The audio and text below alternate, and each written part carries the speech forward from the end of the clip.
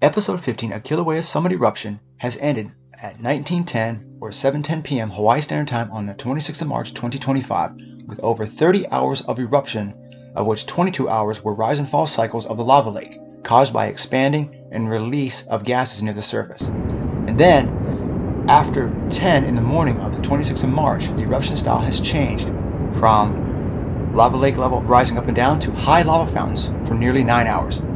High lava fountains reached as high as 1,000 feet or 330 meters from 10:15 to noon. There were some instances, however, where the lava fountains reached as high as 1,200 feet or 350 meters, just as you see here.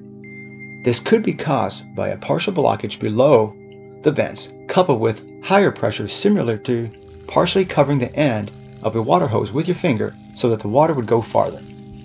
For scale, the height of the crater wall from floor to the top is around 600 feet or 180 meters.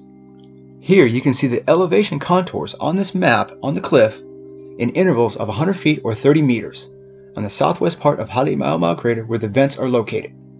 Lava covered nearly 90% of the crater floor of Halemaumau.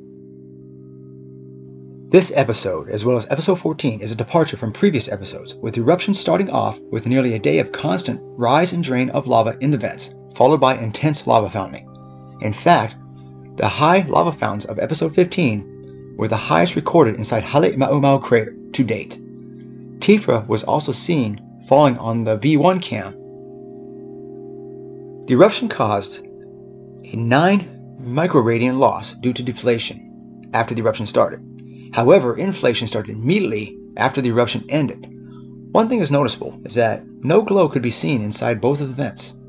This could be that the vents are blocked or the lava retreated at a greater depth. Based on current inflation rates, episode 16 may start anywhere between the 31st of March and the 4th of April 2025, or it may stop altogether